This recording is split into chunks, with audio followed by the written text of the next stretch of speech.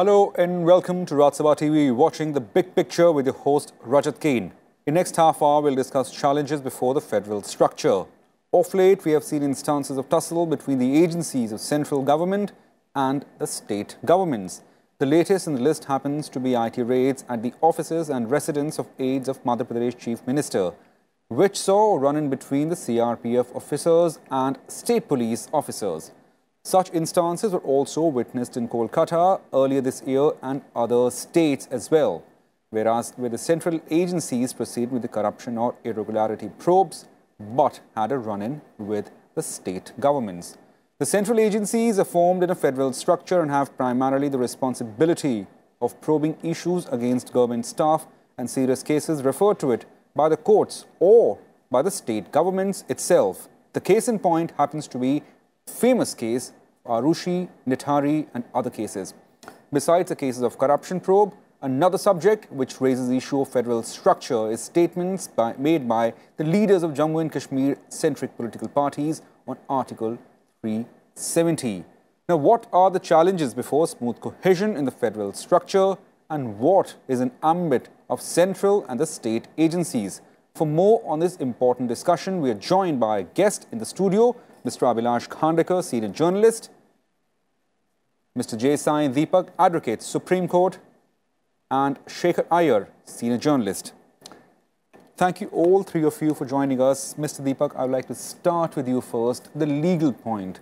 What is the ambit of central agencies when they proceed with raids or any proceeds of, of the probe in other state, in the territorial jurisdiction of the state governments? See, the first thing is uh, I don't think any of these issues, at least this particular issue, poses any challenge or highlights a problem with the federal structure at all. It's a plain and simple case of somebody treating the state as their own fiefdom. Mm -hmm. This is not a constitutional question at all, even remotely. The jurisdiction of central agencies when it comes to these issues is crystal clear. And any interference or use of state instrumentalities or state agencies to prevent them from doing their job is a violation of fundamental legal principles of, and creates a law and order issue. And it only means a defiance of the constitutional structure.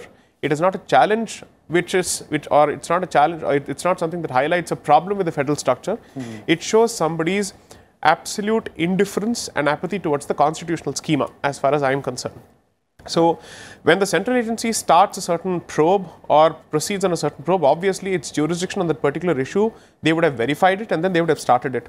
Now, the agency's jurisdiction or its ability to do its job is not restricted by the metes and bounds of the geographical uh, territories of a particular state if the jurisdiction ventures into any state, right. regardless of which state it may be, whichever dispensation, uh, dispensation may be in power, mm -hmm. the fact remains that as long as that particular subject matter falls within the scope of their jurisdiction, there ends the matter.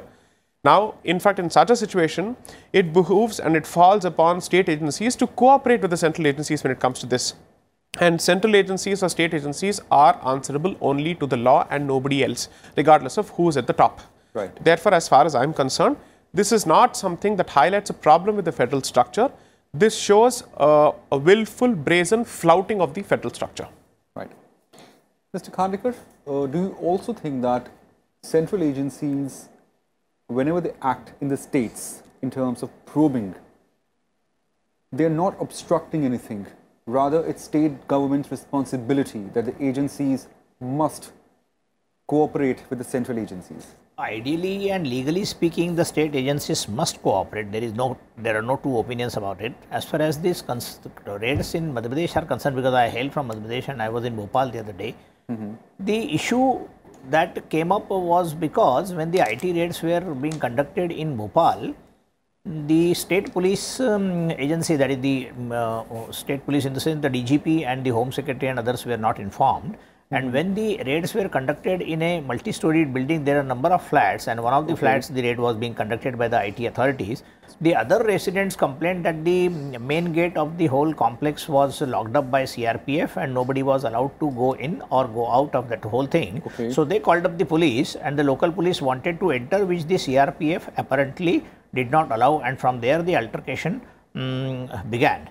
So basically, I think it was not about IT raids as such, and nobody was um, opposing the IT raids, which, uh, as, as, you know, the IT mm, uh, the income tax and the CBDT, all this come under the government of India and not the state government. But uh, because Madhya Pradesh has a Congress government recently elected and the raids were conducted on the chief minister's uh, mm, aides and um, his uh, OSD and others, Mm, the Congress apparently thought that this is some kind of political vendetta by the BJP government which is ruling the center and therefore some kind of twist was given to whole episode and it appeared to be a clash between the central agencies and uh, the Madhya Pradesh police and the other agencies.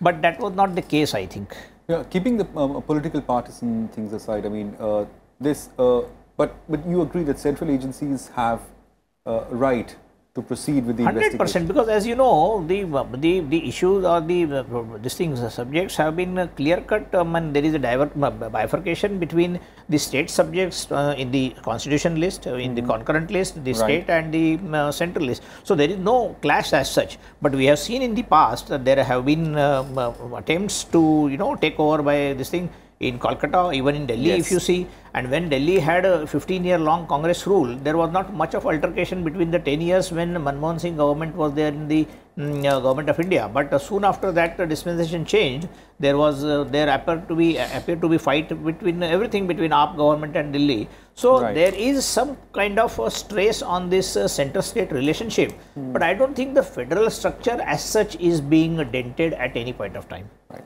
Mr. Iyer, uh, what do you make out of it? Like we, we saw that very uh, public sort of uh, run-ins between the officers of state government in Madhya Pradesh and the central government and also in Kolkata. There have been other instances well of late. Do you think there is a lack of cohesion? Because, uh, I mean, we, the sense is that central agencies can proceed with investigation in any, any state jurisdiction. But is it binding on them to inform the state government, look, we are coming and please cooperate with us. Is, is this a uh, plausible scenario? No, I don't think it is required for them, unless, of course, it's a local situation which in, they can requisition the state force. But where they feel that uh, prior intimation could result in a leak out and the hmm. raid not, uh, the raid not being right. successful, then they can go ahead. And besides, these are income tax laws. Now, give me an example. I, will give you an example of what happened at the Kolkata airport the other day. Mm. A passenger arrives from Bangkok right. and is stopped by the customs because they suspect that the passenger is carrying some contraband gold, right. which was not declared. Right. And the customs are about to proceed with uh, the normal inquiry and filling up of the official procedures. Suddenly, the Kolkata police busts into the airport area, which is not under the jurisdiction, which is under CSF. Right. Then right. threatens these custom officers to leave that passenger. Yes. And somehow the passenger is forced to go. out. Then a case is sought to be filed against the customs officers. Okay. Now the question arises: Why do they suddenly get worked up, Kolkata police, about a passenger arriving from Bangkok? Similarly, in Bhopal, income tax raids must be happening in several parts of Madhya Pradesh. Why this particular residence complaint? Is it because those who are who have been caught, they are not political candidates. Hmm. They are understood to have worked with the Chief Minister of Madhya Pradesh. Definitely, you know, when you discuss about federalism and cooperative federalism or centered relations, there is a political element to it. Okay. And Definitely. then these people, basically, what are they saying?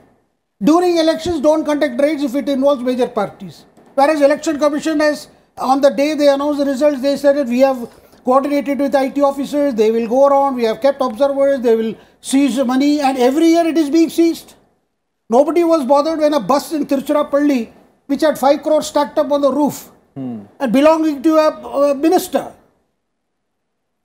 And nobody had a problem because the, because the bus was checked like any routine checks.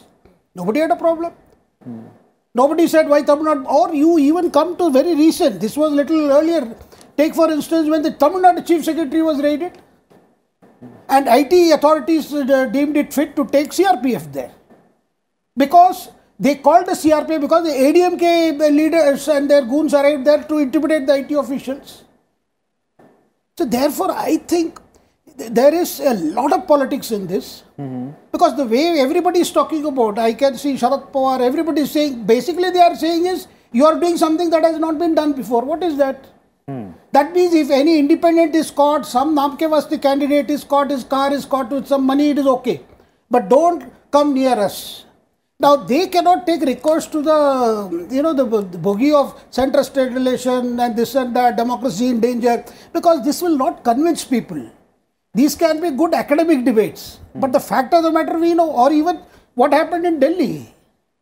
Everybody knows Delhi is not a full-fledged state, and everybody knows why it is not a full-fledged state. There have been several debates. The person who took oath as a chief minister knew it is not a full-fledged state.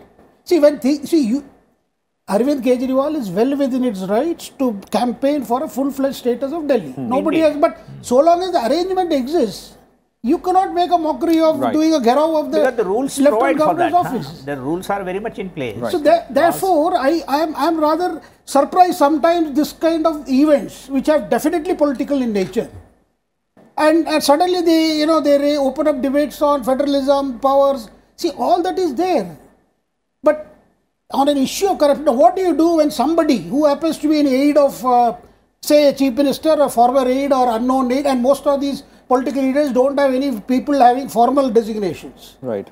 Now their house is raided, 20 crores is found, and they have electoral bonds which should have been either with the current political party office or deposited in the bank. It is with them. What should IT do? See, and there is an attempt also I find to intimidate the these law enforcement officials. Be careful, we are coming back. I think this is these are the dangers because everybody knows whose power is what, what is the extent, what is the jurisdiction, what is the everybody knows about it. I think none of the politicians involved do not know what it is. But and and I I was I was shocked by the Kolkata incident. Right, right, right. I, I know uh, it's uh, it's as as both the panelists say that it's a political, but let's try and keep it little academic with you in on the legal point of view. Uh, now, I would like to learn from you, like what are the bars on the central agencies in terms of the proceeds in the center, well, in, in the state government's jurisdiction? Like, does DSP Section 6 prohibits the agencies, I'm talking of the CBI here, from investigating cases outside Delhi or any other union territory without the permission of the requisite state government. No, see, here's the point. When it is understood or when it becomes absolutely clear that the ramification of a certain issue goes beyond a particular state, hmm. By default, or at least as a part of practice, such matters end up before the Central Bureau of Investigation. In hmm. fact, in quite a few instances, if the investigation starts in a state government or within the territory of a particular state, and then they realize this goes much beyond a particular state and it could have nationwide ramifications, then such a matter is referred to the CBI. Or if it otherwise has an implication of national importance, then it, it is referred to the CBI. Now, once that particular jurisdiction is established, and let's say they decide to take action, they decide to uh, take it further. Assuming for a moment that you believe that this is indeed a violation of some kind of a procedure or a rule that exists, then you should question the legality of the transfer of that in- investigation in the first place. However, if you have a problem only with the investigation or the timing of the particular investigation, that does not immediately translate to a questionability of the investigation or the uh, jurisdiction of the particular organization in the first place. Most importantly, as uh, one of the panelists rightly pointed out, this is a case that relates to inf- uh, income tax, right? It's nobody's case that this belongs to a state agency. Right. Okay. I don't know the specific facts of the case, therefore, I'm not in a position to comment on who is right and who is wrong. I'm simply proceeding on an academic, legal, solid basis, Right. which is if there is a specific subject matter that falls exclusively within the jurisdiction of a central agency, then it is up to that agency to decide what is the best manner to preserve the integrity of that particular investigation and whether it needs to liaise with the state officials or not. If it believes that doing so will perhaps compromise that particular investigation, then it is well within it, in its rights to keep it completely silent. Now, if that translates to raising the bogey of federal structure or a challenge to federal structure, then it, it, it appears to me that every constitutional scheme is now being used as a facade to hide behind so that the actual issue is scuttled and brushed under the carpet. This, I don't think, was the purpose of any of these, uh, let's say, basic structures put in place. Right. So, unfortunately, when you discuss a constitutional issue, to limit it to the four corners of academic debates would perhaps be, uh, I would say, impractical and it would not be meaningful as well. Unfortunately or fortunately, this is inevitably linked to a political angle. I am not raising fingers at anyone at this point of time. I'm simply saying that you cannot forget the political element. That also means somebody could say that the very initiation of the investigation could also be political. Maybe so. But at this point of time, the question that you have to ask is this. So long as the ball has been set rolling within the four corners of the, law, of the law, and the subject matter falls exclusively within the union list under the 7th schedule of the constitution, then there is no question of their ability to pursue that matter and take it to its logical conclusion, whatever it may be. Right. And if you come in the way of the investigation and you start raising other bogies, I'm sure the people who are watching are not necessarily dumb. Even they hmm. know what's going on. Yeah. Right? And this argument has been raised even before that before the elections, don't do anything which is peculiar. I don't understand. The sanctity of elections is understood, mm-hmm. but that does not mean that every other process must necessarily be in animated suspension or suspension animated. It doesn't make sense at all as far as I'm concerned. They have to do their jobs. Should law and order take the back seat merely because election is going on, or should corruption cases take a back seat merely because the election has started or is about to start? I don't understand. We, st- we start talking about election when a movie is released. We start talking about election when there is an IT raid. What are we going to connect with respect to an election? Has this practice been observed in the last 60, 70 years where they say that the moment there is an announcement of an election, everything must come to a standstill? Should people stop breathing altogether? I think this is taking it to an extremely ridiculous limit. These institutions must be allowed to do their job. At the end of the day, if you're right, if you're innocent, the facts will speak for themselves and the law will take its own course. That seems to be the much cliched line that is used. So put faith in that particular line and dialogue. Right. Mr. Khandekar, does tussles like this between the central agencies and the state agencies, it leaves a scar for the federal structure. And by federal structure, I mean for both the center and the state. It's not just primacy to a state or a center, but each other, the concept of having each other, the cohesive functioning machinery of center and state, does it leave scar in that?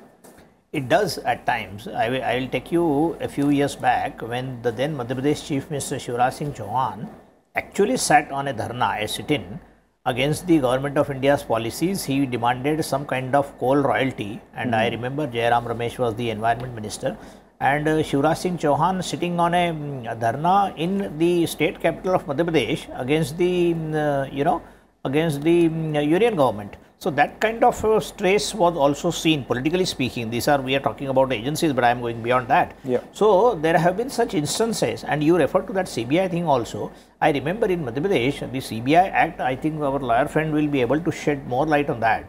But the Madhya Pradesh government had also promulgated some kind of executive order by which they said that the CBI cannot enter Madhya Pradesh jurisdiction, that is the geographical limits of Madhya Pradesh, because this act pertains only to mm, uh, Delhi's uh, jurisdiction and it was not uh, passed by the parliament or something of that sort had happened. And that is what happened later in the mm, uh, West Bengal case also. But Madhya Pradesh had done it quietly uh, before that because they expected some kind of raids when the UPA government was in Delhi. So I think there have been number of instances in the past when the center state relations due to one reason or the other came in for some kind of stress and they did leave some kind of scars and uh, not very deep scars but you know about 20 years ago or maybe 30 years ago there were governments not ma- of many parties in different states but today Right. that uh, scenario has changed and there are the government is in uh, bjp and there are many other state governments so they keep fighting about funds they keep fighting about such central forces deployment or otherwise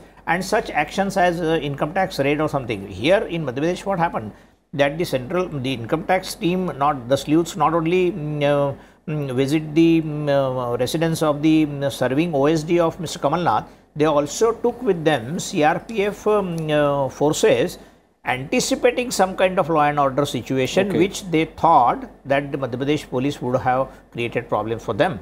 And the Madhya Pradesh police was not informed, the election commission was not informed, and therefore the issue was, uh, you know, debated at length between the Congress and BJP, their trading charges. But fact remains, as he rightly put out, that the law is very clear about it. There is no no fight over law, and therefore I think that whatever clashes between CRPF and Bhopal police took play out, that did not uh, flare up much.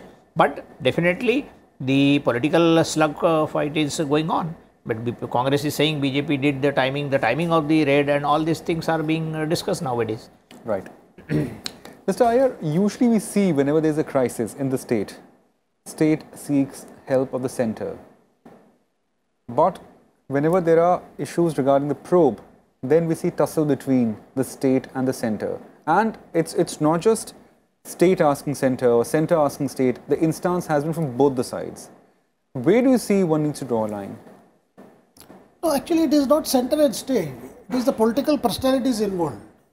See, for instance, uh, income tax requisitioning central forces. This is very much within the relevant rules. It is not that they call somebody. It is provided in the operational standard operating procedures of income tax that the officials that they can call for central forces because they may have to move in areas where there will be a problem. So that provision has already been incorporated, and I think it was mentioned repeatedly during subsequent uh, you know incidents last year that they they are yeah, and then Abhilash ji mentioned Shivraj Singh Chauhan. Before Shivraj Chauhan uh, did that, there was Digvijay Singh doing it here when Vajpayee ji was prime minister. See, this this is there is a lot of politics in this, and everybody knows, every player knows this is politics. Like Vajpayee ji knew what Digvijay was doing was politics, and Digvijay knew what he was doing is politics because to show that they are the aggrieved ones and center is the all powerful and center is not kind to us. Now, what happens is, see, nobody had a problem, particularly in this government, which no chief minister had a problem till I think uh, the elections came round the corner. Chandrababu Naidu did not have a problem. He said it is the most sympathetic center. Similarly, none of the chief ministers during the last four years came here and said that this government has discriminated against them. Even Kerala chief minister left left run Pinarayi Vijayan said, I had the most sympathetic hearing from Prime Minister Modi. Even when the floods happened there, there was no problem. I think wherever there is a, there is no problem, but where politics steps in and the feeling is, look, we are disadvantaged on a particular issue because the center is ruled by some other party and we are heading something else, then the politics come to play. Otherwise, I think by and large we have not seen a situation where the center and state have been at loggerheads. States have been loggerheads. We have seen Assam and Nagaland fighting over the border issue. This district belongs to us or that. Or there has been disputes over river sharing. Though there have been the issues where you know the institutions have been at loggerheads. Or for instance, Kaveri, you know, the Supreme Court gave the award of tribunal. It was challenged repeatedly by Karnataka because it didn't want water to go.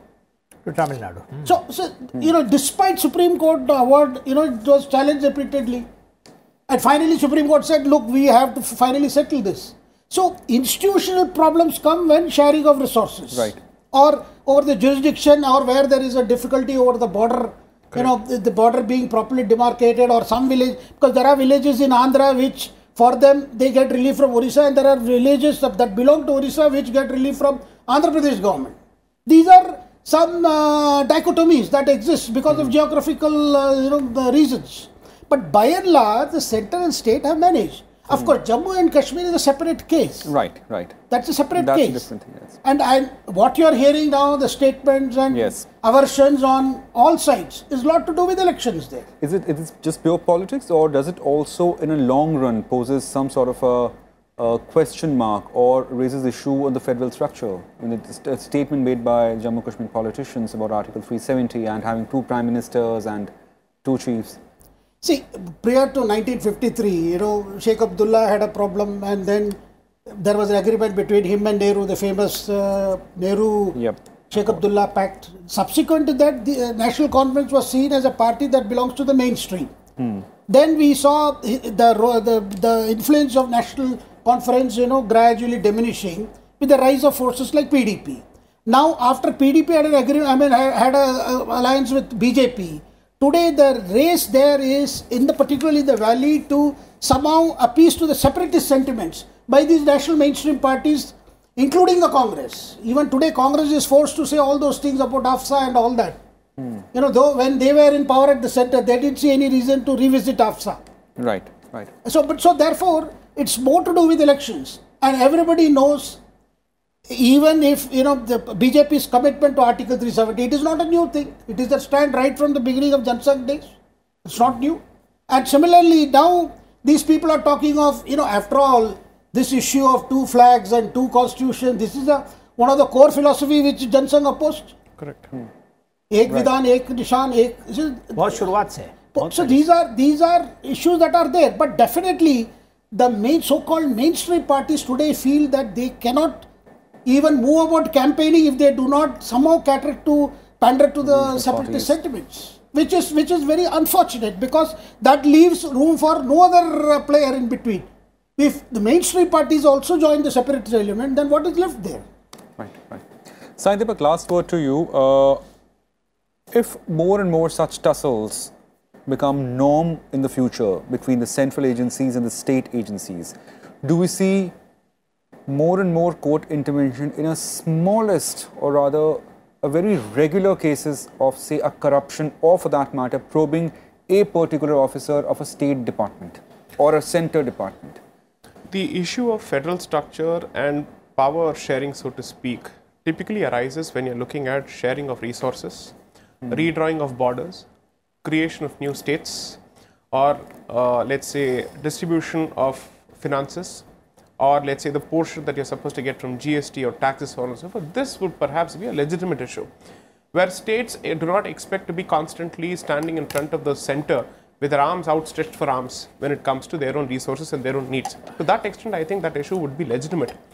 But the two issues which I think at this point in time, going by the discussion and going by the issues that you've raised, which I don't think necessarily fall within center-state relations. One, a law and order issue is a law and order issue. It should not be given the color of a constitutional problem which has effectively created some kind of a fissiparous tendency between the relationship in the center and the state. That I think is sophistication at its worst when it comes to a simple issue and therefore judicial intervention becomes important and mm. they are ending up facilitating the intervention of the judiciary when it comes to these things perhaps rightly so two when it comes to issues of national security whether it is elections or whatever if a politician especially ends up catering to the lowest common denominator and especially mm. within the separatist crowd or a secessionist crowd that is not to be seen only in the context of elections, that is effectively going to create a long term scar when it comes to the integrity of this country, and that cannot be overlooked or glossed over as a mere statement made in the election of the hustings of the election or made in the heat of the elections. That is, uh, according to me, impermissible and unpardonable, regardless of who makes it. And if it happens to be a national mainstream party which panders to that kind of a sentiment merely because it sees some kind of a vote bank, mm. then if it effectively insults the electorate, and also its mandate as a national party which is meant to keep the country together regardless of whether it uh, let's say occupies the treasury benches or the opposition benches that shouldn't make a difference so the statements made in kashmir with respect to article 370 according to me perhaps could end up creating situations where again religious minorities in that particular state will find it difficult to survive. Therefore the question of rehabilitation will again take a back seat. Right. Thank you gentlemen. Thank you for joining us and discussing this issue threadbare challenges for the federal structure and the onus lies in both the center and the state for a better cohesion. Thank you for watching Big Picture in Rajya Sabha TV.